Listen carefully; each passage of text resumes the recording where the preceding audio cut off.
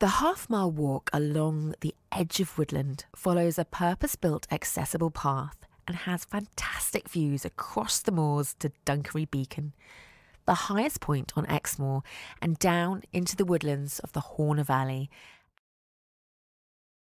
The walk starts at the National Trust Webbers Post car park, situated on a minor road between Bossington and Dunkery Beacon. The route follows a rolled stone path, which is virtually level with regular benches, and is graded as Miles Without Stiles Route for All, meaning it is suitable for pushchairs and unassisted wheelchairs. The rest of this video provides you with a virtual tour of the route so you can gauge the suitability of the paths for yourself.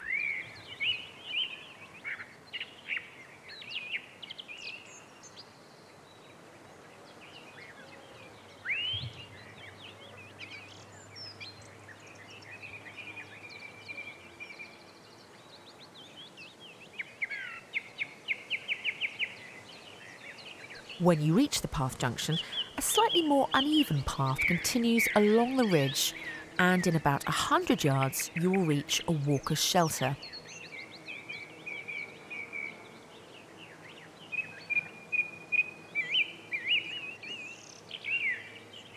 From the shelter, retrace your steps back to the junction and follow the higher path that will lead you back to the car park.